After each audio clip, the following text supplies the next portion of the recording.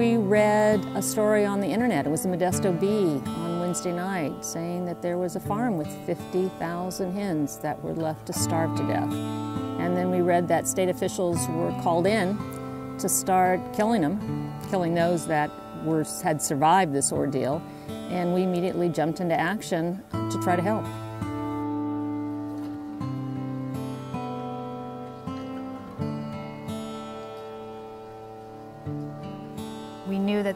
Birds who were still alive, and, and it would just be the worst thing that we could ever do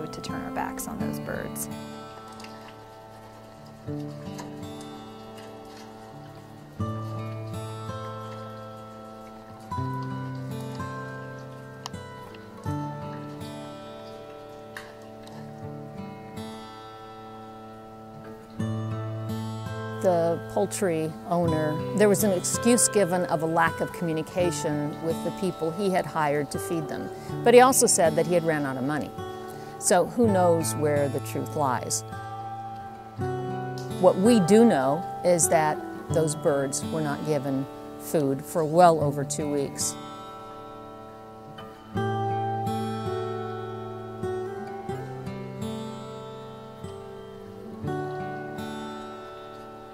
Call from Margie, our education manager, and she said that she had just heard about the situation that this farm had gone under, the guy had stopped feeding his birds, and there was 50,000 hens in this facility a few hours away that had been starving to death.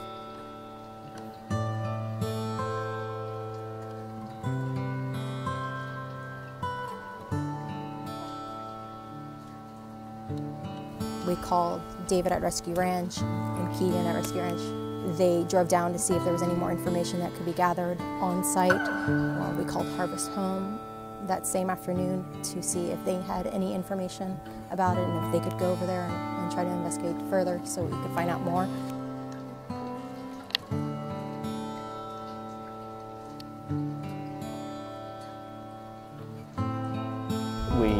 Get there, the vet has estimated that about a third of the birds have starved to death already. So what's that, 17, 18,000 birds are dead in their cages being stepped on by other chickens.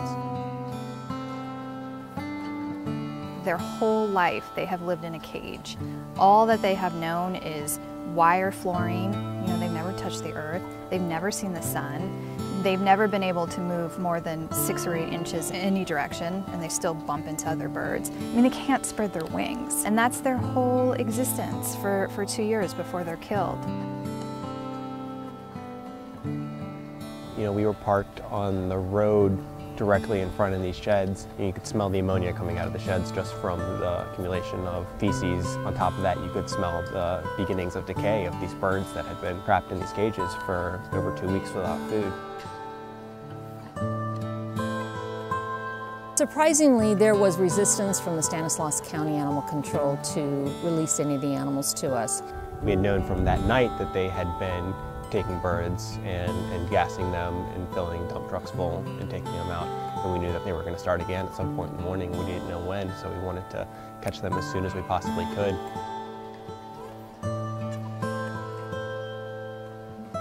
Inside of these two buildings, there was just such an immense amount of suffering and knowing that, you know, in order to have our, our best chances of rescuing as many animals as possible that we had to, you know, lay low and, and wait for permission to, to rescue the animals. It was tough.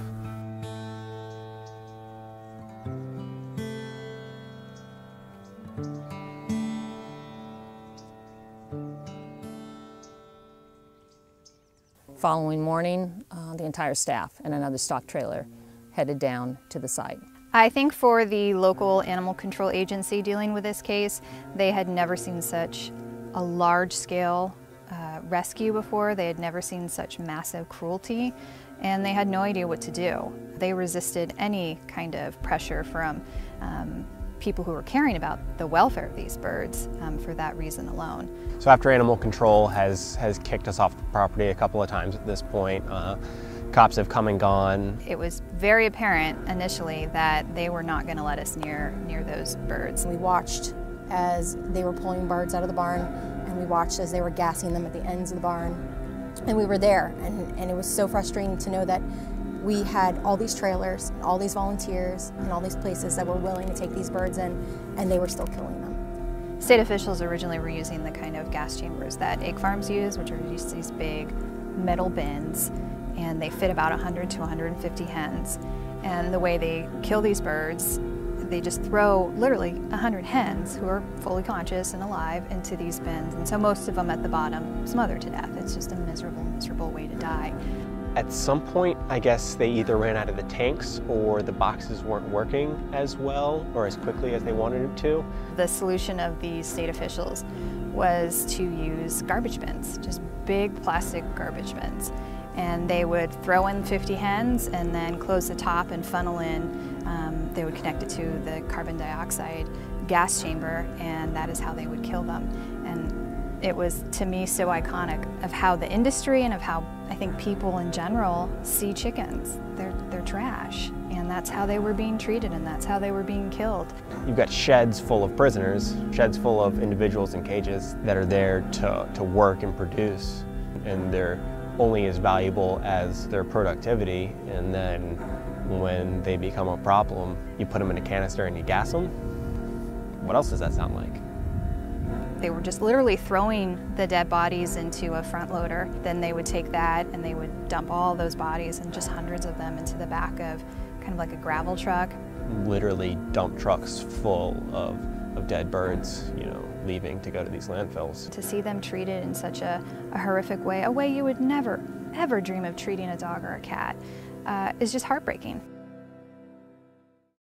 Not knowing whether or not they're actually going to let us go in and help was was infuriating. They were so close, and at the time we weren't sure that we were going to get anyone out of there. You know, they're murdering live beings that have just been through hell and and they're saying no you can't do anything about it. That's not an option for a compassionate person. There was a plan b when when we realized that there was a good chance that they were not going to release animals to us. And the plan b it was the staff we all came together sat down and uh, called our attorney. We were very close to just going in and trying to save one save two however many we can get before we were you know detained by the police. It got to the point where you know, we suited up, we put on our, you know, biosafety gear and, and got ready. If we had to walk into those sheds ourselves and start pulling birds, and they'd have to physically stop us. We were gonna disobey the orders of animal control, of the vet, and of the, the police that were there, and we were going to take our carriers and go into these sheds to rescue birds because what else can you do? There was just this resolve that we were going to save as many chickens as we could. Just that's all there was to it. And there were enough people there that were ready to go in right then and there and just, you know, fight through the crowds or the, or the police line or whatever just to get in there. You may not necessarily succeed, but you have to try. You know, morality dictates that you have to try. To let them just be ripped out of the cages and gassed, when you know you can save their lives, you have a moral mandate to do so. There was an incredible energy about no one was leaving. No one was going to like walk away. It just it just wasn't going to happen. Absolutely, people would be ready to be arrested. I mean, who wouldn't? News crews had showed up. You know, they were there filming, so we knew that you know at least word of this you know atrocity would would spread. Sort of right then, uh, the director for Stanislaus Animal Control showed up. Kim was able to you know sort of pin her in front of the camera and say, "Listen, you know, we're here to help." Um, are you going to let us in? And with three television news cameras in her face, I think she sort of felt like she had no other option but to say, okay.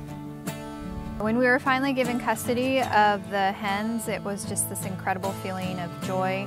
Uh, we were going to be able to help, we were going to be able to save so many lives um, and kind of make a triumph out of tragedy. The county animal control agency finally gave us custody because Animal Place, Harvest Home Animal Sanctuary and all of our supporters wouldn't back down. We were not going to take no for an answer. Um, these hens had no advocates. They were being killed en masse, and we were the only ones who were there to stand up and be a voice for these hens.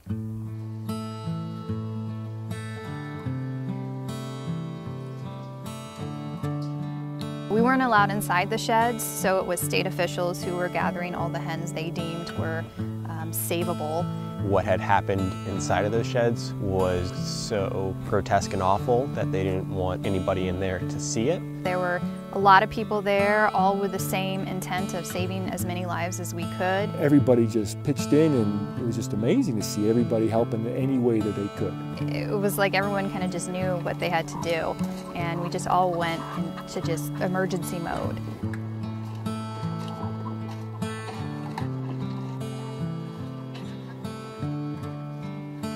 It happened so quickly, but we had 800 loaded into our trailer within what, like an hour, two hours, and we rushed them back to the sanctuary, Rescue Ranch. We are so grateful that we have this other facility, Rescue Ranch, which essentially lays dormant for those big rescues so that we can take in a large number. Got back to the sanctuary, you know, three hours later and worked until, I don't know, three o'clock in the morning. You know, we're triaging them. There's hens who need special fluids and feeds, and we had this special room set up for the sickest of the sick. They were weak, they were emaciated, they were, you know, 70% under body weight. Uh, most of these hens, of course, were really at death's door. They had been without food for over two weeks. And the tragic part about rescuing hens from battery cage operations is that they've lived in such strict confinement that they have no idea how to deal with freedom. All they've known is being around other birds and, and not being able to move. And so they just clump and they clump on top of each other. And you have to go around and you have to unclump them. And, and I remember all of us probably got to bed about one or two o'clock in the morning and we only had about two or three hours of sleep because we had to get up and go back to the farm the next day.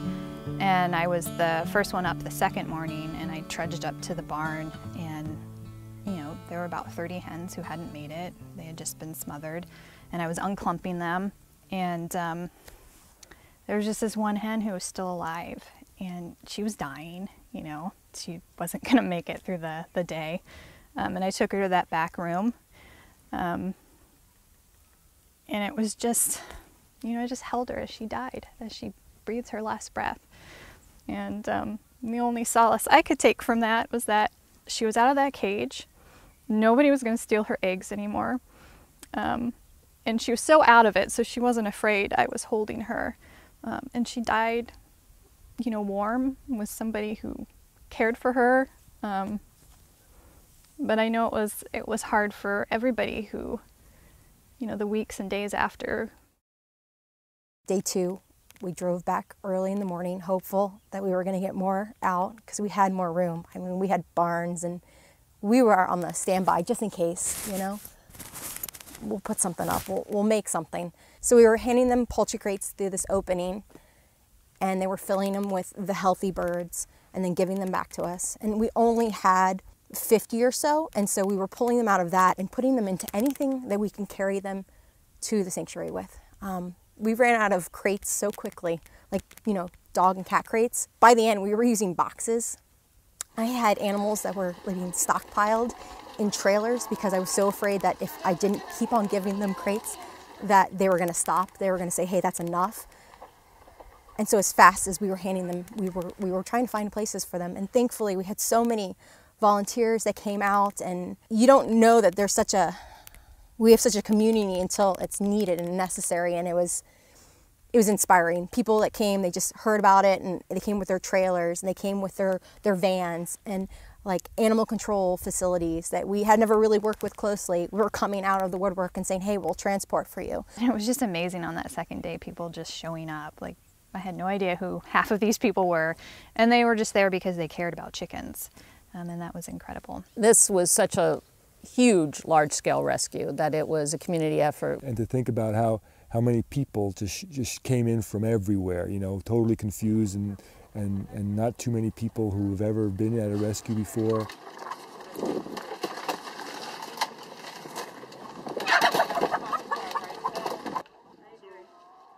Thing. I mean, you've got dead birds above you and dead birds below you, and you have you have waste. You have you have you know feces piled you know two feet deep, and and it's just just the most god awful way to imagine dying. I knew that if I would address like the guys that were doing the the uh, with the animal control folks, then I would then I would like fit into their crowd, and I knew that if I presented myself like them, they wouldn't see me as some kind of a rescuer, an outsider. And so it allowed me to go in and get those birds. But the funny thing was, is if I would have turned around and said, hey, we need help in here, I would have had 50 people run in that pit in their bare feet if they had to.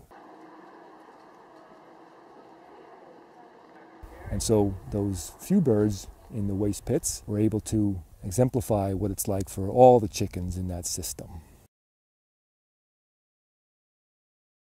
And I spent the next day not only doing animal care for the birds that I had just taken in, you know, which was close to a thousand, you know, um, but also trying to set up for, you know, the next load that was coming. I was drastically short supplies um, because, you know, who would have thought the day before that we'd be taking in, you know, thousands and thousands of animals. Every single barn on that 60 acre property was filled with birds, but that wasn't enough.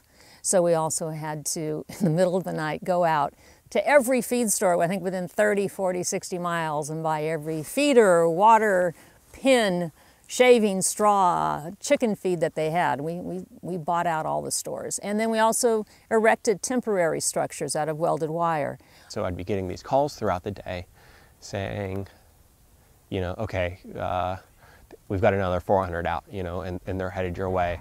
Um, how many more do you think you could fit? Okay, we've got another 600 out, you know, they're headed your way. How many more do you think you could fit? You know, all right, we've got another another 600 out, you know, like, and so we're starting to look in the magnitude of, of thousands, you know, there's 1,000, there's 2,000, 3,000. We were, we were running out of spaces and I knew that at some point we had reached more than we could care for. The carrying capacity, me and Kim talked about as we were going in, was somewhere around 2,000. Uh, we reached that quota very early um, in the afternoon that second day. And I called Kim up. I remember this. And I said, Kim, you need to tell me to stop because I'm not going to be able to stop. I will take them until they won't give them to me anymore. And um, sorry. I can't say no. I can't not give them more crates. She said, Jamie, you do what your heart says. She says, we'll figure it out. We'll find a way. You don't worry about that. I'll worry about the money. I'll worry about the staffing. You just get them out. You get as many as you can out. I don't think anybody who was involved in this rescue wasn't touched very deeply by what we saw.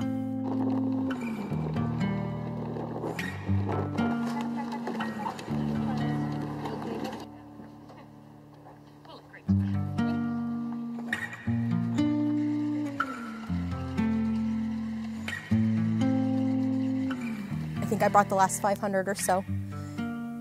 And that was all. They, they literally said there are no more healthy birds. I gave them, I kept on giving them crates until they said there aren't anymore. We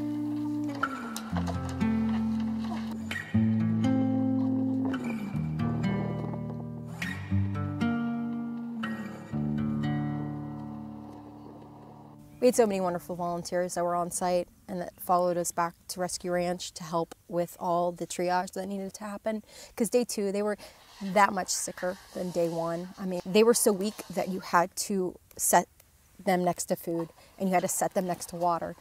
And you can't imagine the scope of 4,000 plus birds in barns. Like, there was a sea of white.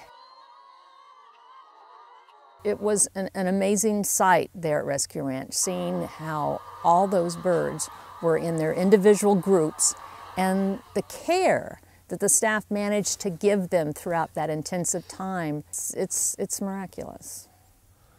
We were all running on no sleep. You know, from the first night I went out there, slept a couple hours, you know, it, on the floor of a van. Um, you know, the second night we slept a couple hours between, you know, getting uh, getting everybody sort of stabilized that we could, and then waking up the next morning to start again. And that third night was was more of the same. You know, we just had more birds. You know, so our emergency room, our triage center, whatever you want to call it, you know, got you know bigger. Um, we had more work to do. We had more animals that were were dying and needed to be tube fed. We had more animals that needed you know fluids or antibiotics or whatever. Many hens died um, as soon as they got back and they started eating, and their systems just shut down. We worked, you know, into the into the night on on shifts. And when I say on shifts, I mean that somebody would, you know, go and sleep from one in the morning to three in the morning, and then come back out and relieve somebody who was in the process of, you know, administering these much needed medications and nutrition, and they'd allow them to go sleep for a couple hours. You know, it was hard. Like we didn't have that many people. We needed a vet there, and I think I like was extremely overwhelmed. And when I had finally like walked out, I realized I had been in there for nine hours and hadn't like actually left that actual that room. And so you're you're trying to save these animals, knowing that for most of them, it, no matter how much care you give and how much love you try to give them, they are still going to die. They're they're still not going to make it. I had a grave dug there on the property at Rescue Ranch with a tractor. They dug me a trench that was six feet deep and about 20 feet long. And I thought, oh God, that's huge, you know? Like, I've got this huge hole in the ground now.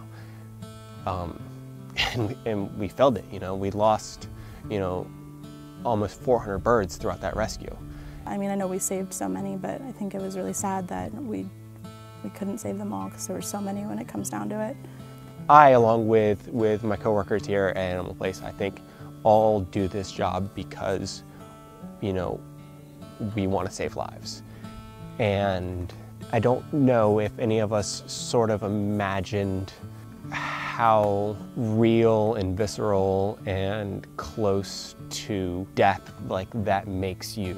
Our desire to to help these animals and, and save these lives makes you come face to face in the most disgusting, awful way with an enormous amount of death. And it was it was more than I was prepared for. You know, I didn't I, I didn't know what to do. You know. But we always know, um, whether we take in one animal or we're taking in 4,000, is that we can't save them all. And some are just so badly damaged before we get them.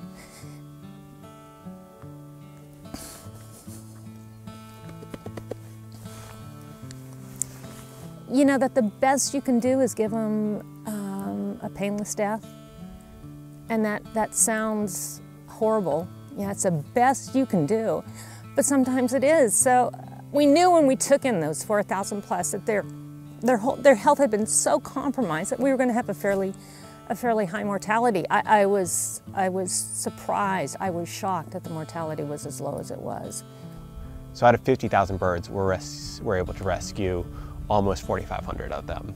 That leaves over 45,000 birds in three days, four days at this one facility that died suffering. You know, there's no other words for it. You know, they died in hell. They died starving to death even the ones that were, were gassed, you know, the ones that were killed by the state, even those still died suffering.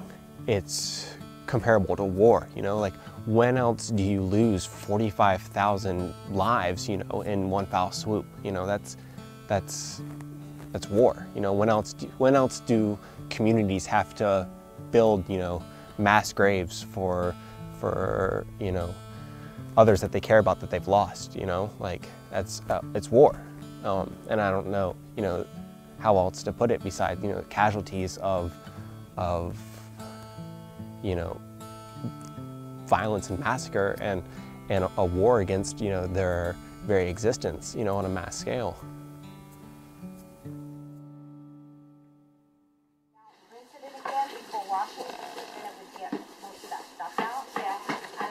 The workload was immense. You know, we worked 14, 16 hour days every day of the week for months. You know, we were fortunate enough to have a large amount of volunteers that came out initially.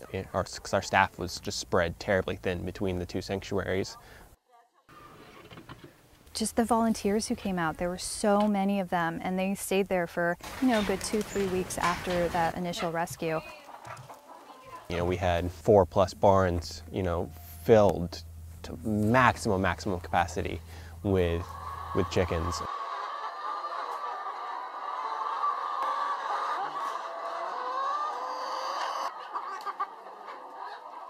Day three and day four, they started to display their personalities. There'd be sun into the barns.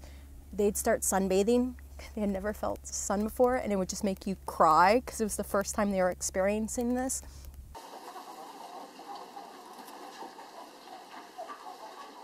And I remember seeing on those first couple days them scratching and starting the dust bathe and being like, this is, oh wait, I know this innately. I've never had ground, I've never had dirt, but I know innately that I should be dust bathing, that this is gonna make me clean, that this is something that a chicken does. And to watch that slow progression of them being these automatons in a sense, like these we make them into these like animals that are in a box. They don't act like chickens. They can't express their natural behaviors. And we take them out of that and they slowly, slowly become individuals.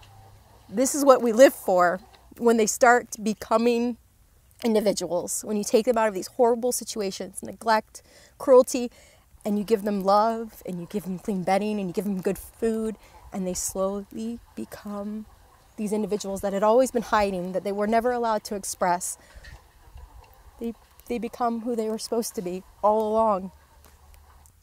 But I remember it was the first week or the second week, and there was a bowl of food, um, and there was this chicken. I walked in on her, and I'm like, What are you doing? She was dust bathing in a bowl full of food. And I remember thinking to myself, I called everyone over. I was like, you're not going to believe what I see right now. There is a chicken dust bathing in food. And there'd be these like looks of like, okay, well, they've been dust bathing for a lot. I'm like, but do you don't get it? They've been without food for so long. She's dust bathing in food. This is like the epitome of like what a sanctuary should be. They should just dust bathe in food all day because they deserve it. So I remember this one barn, it was Big Red Barn, and this was the first time the hens in that barn were gonna get to go outside. And so I planted myself outside the door because I thought it was gonna be this like dramatic moment of these hens. They would see the outside and they would just all run and they would flap their wings and they would be chickens again. Um, and it's like how easily I forgot that these hens just a few days ago were in a cage and they had no concept of grass or dirt um, they had never been able to pick up pebbles or to flap their wings, and, and, these were things that were just totally foreign to these hens. And so the door opened, and I had my, my camera ready, and they just stood there. And they were staring outside, and, and I could see them like processing all this information that they were getting, um, but they wouldn't move. And I sat there for, for 20 minutes until finally this one brown hen she stood at the edge of the barn that separated her from inside and outside, and, and she was taking it all in. And then she took that first step. And that's the first time she's ever touched dirt and grass before. And you could just see her like, oh, what a strange feeling this is. Um, she was she was experiencing something new for the first time, and it was kind of exciting for her. And then once the other hen saw her take that first step, everybody ran out, everybody started to scratch in the dirt, and they had never experienced that before. To be able to just affect the life of one individual in a positive way is something that's really, really profound. And I can still feel that, you know. Fortunately, the public really stepped up to the plate. Not only did they come out to volunteer week after week and month after month, but they made donations to Animal Place. They recognized that this was going to be a very expensive um, rescue for the sanctuary, and they helped. And it was wonderful to see people stand up for chickens. I mean, it's usually kind of the companion animals that uh, people are mostly concerned about. Farm animals, less so, unfortunately.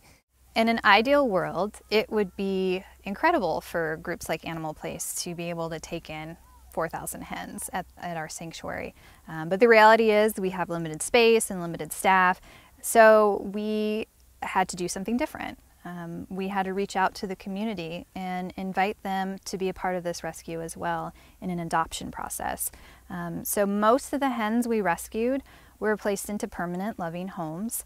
Um, all these adopters go through the same screening process that people who want to adopt dogs or cats go through.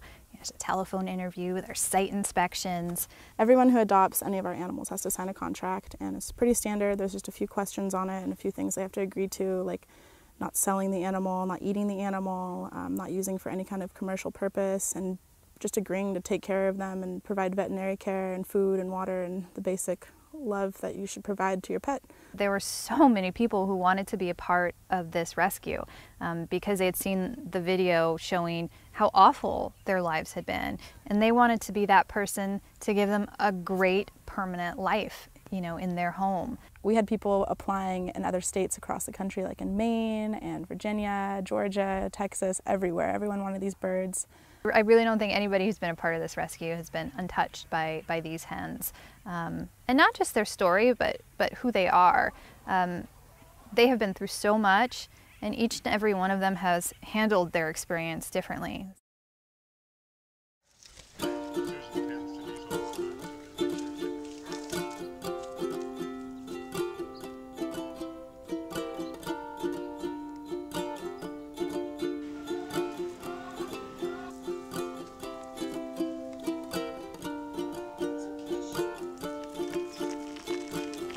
I love them. In fact, my husband said, he said, if I had known how much joy chickens would have brought to you, we would have had them a lot sooner. They were a surprise to me.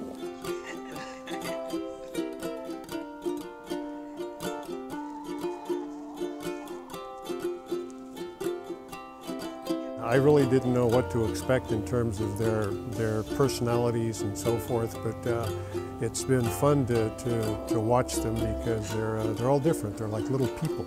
You know, each of them has a different personality, each of them reacts differently, and they, they behave differently, and so they, you, you grow accustomed to it.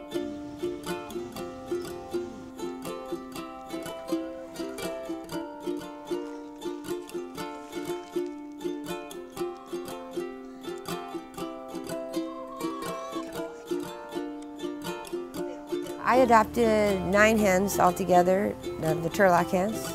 I really wanted to do something to help. Everything was so new to me about chickens, just the revelation about how chickens were so much like a cat or a dog, you know, just like a pet. They're cheerful, naturally cheerful creatures. They seem to have forgotten the past and they live in the present moment. They're just a total delight all the time. I name them and later I give them a nickname to sort of fit their personality. Uh, Lucy um, was Lucy, but I call her Lulu because she's always in and out of trouble.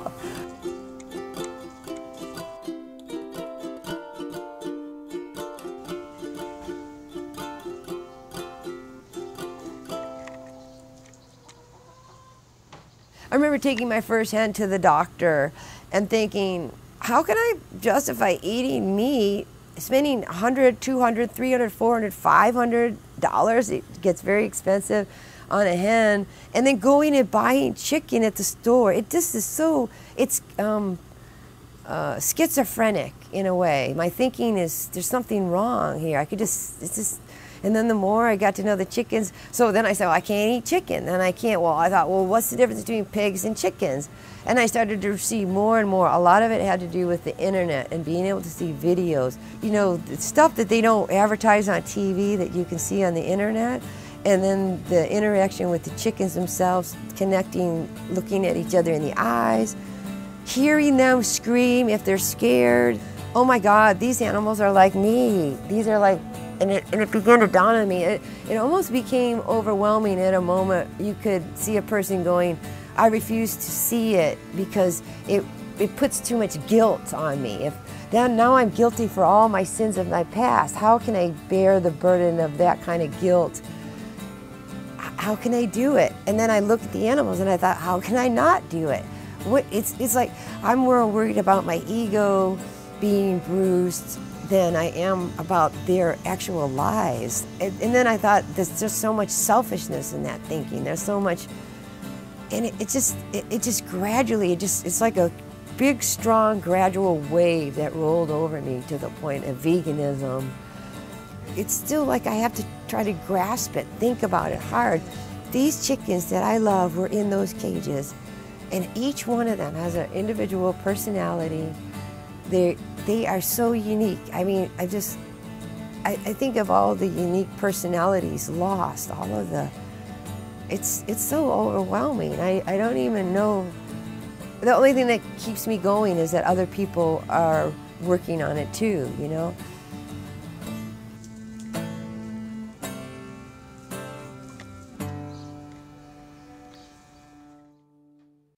Uh, so most of the hens we rescued from this battery cage operation are called white leghorns. They're little white, tiny little birds. Um, and they're the most common breed used in the egg laying industry. And these hens, along with the other kind of high production laying breeds, have been artificially selected to lay three to five times more eggs than they should. Um, they lay up to 300 to 320 eggs a year. Uh, I compare that to some of the lovely hens we have at the sanctuary who we rescued from you know, hoarding cases and they're tiny little feral birds. And they lay about 20 to 40 eggs a year. Um, so the side effects of, of that high production, they have enormous rates of ovarian cancer. Um, they have very brittle bones because all their calcium is just being leached into making the shell on that egg. Um, eggs get stuck inside their bodies because their bodies just they just give up they just can't handle all this egg production you know we have this really amazing rescue and we've liberated these hens from this awful situation but really they're just prisoners in their own bodies normal chickens lay somewhere around like 30 eggs a year clutches that they do to raise babies it's they don't make eggs so we can eat them they make eggs so they can raise their young the conditions under which uh, these birds lived and how they were treated. Um, people often ask me, is that the worst you've seen? And no, no. I, I, think when it comes not just to birds raised for their eggs, but birds raised for their flesh, as I saw in Katrina, um, pigs raised for their meat, cows raised for their milk. Um, no, the Turlock hens, it, it wasn't the worst sight I've seen. I, I wish it was. I wish I could say that represents the worst of farming of animals, and it doesn't. A lot of people ask about cage-free and free-range farms and if it's okay to eat those eggs. Um, it's important for people to realize that behind every single egg, 150 million male chicks are killed every year. Male chicks don't produce eggs. They don't grow at the rate that broiler or meat type chickens grow. They're trash to the, to the chicken industry. And it doesn't matter what kind of farm you buy eggs from, male chicks are always killed. And they're killed by being ground up alive or by being suffocated or gassed to death by the millions. And it's awful. And on most cage-free farms, hens um, still have a portion of their beaks cut off, and this is done without pain relief. Uh, chickens have very nerve-rich and blood vessel-rich beaks. They're very sensitive. So when you cut them off, it's incredibly painful and it leaves them with a lifelong uh, deformity that they have a hard time cleaning themselves and eating. And that happens on cage-free farms and it happens on big free-range farms. Um, and at the end of the day, all of those hens are killed. There is not an egg farm that keeps all the male chicks and offers them sanctuary and a, a happy bucolic egg farm where all the hens live out their lives. Once that egg production goes down a little bit and it's not profitable to feed them, they are all sent to slaughter. There's no such thing as a free-range slaughterhouse. There's no such thing as a free-range processing facility. All these animals reach an age, you know, chickens. If they're, they're chickens for meat, you know, 42 days. If they're hens, 18 months, you know.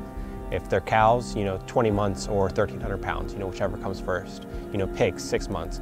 All these animals reach an age that's a fraction of their natural lifespan. And at that point, they're taken from whatever happy little farm they grew up on or whatever dismal factory farm that they, you know, were grown in. And they're all sent to the exact same processing facilities, the exact same slaughterhouses, and they're murdered in the exact same way. So there's, there's nothing friendly or compassionate or humane about violently ending another being's life. And there's no way to honestly, honestly face that and, and still continue to use terms like humane meat, humane eggs, humane dairy. There are 10 billion animals who are killed for consumption every year, and 200 million of them are chickens from the egg industry. And it doesn't have to be that way. Um, every time we, we make a, a choice at the supermarket, we can make a choice for compassion, or we can choose to be a part of the system that cruelly treats billions of sentient beings every year. You know, Animal Place has been around for almost 25 years now, and during our, our history, we've, we've done a lot of large-scale rescues. But the, this, this one rescue in Turlock, I mean, we saved over 4,000 lives. That's the largest rescue we have ever done. Um, I, I don't know if ever that opportunity will be there again when you can take so many lives out of just hellish horrendous con conditions um, and care for them and then find forever homes. So this was a, a huge rescue for the state of California. It was a huge rescue for, for farmed animals in the United States and it was a huge undertaking for Animal Place. The Turlock Rescue was the largest rescue of farm animals in California history. And we were a part of that. Animal Place spearheaded that. I'm so unbelievably proud of the staff and the volunteers that helped make it possible. It changed my life in a few ways. I watched it change adopters' lives, uh, my friends and family's lives, coworkers' lives, and of course the chickens' lives. You know, we were able to rescue like thousands of individuals, and that's something that, you know, in my wildest, you know, animal rights fantasies didn't ever, you know, anticipate happening. I feel so grateful to have been part of this monumental effort to save so many hens. It's changed my life and, and I hope that it changes others to make more compassionate decisions. You know, people were outraged by the Turlock situation. People are outraged when they hear how farmed animals are raised. But what they don't know is that they're contributing to that. And the best way to help the animals is just simply stop eating them. Stop eating their flesh, stop eating their eggs, stop drinking their milk, just to adopt a plant-based, a, a vegan diet.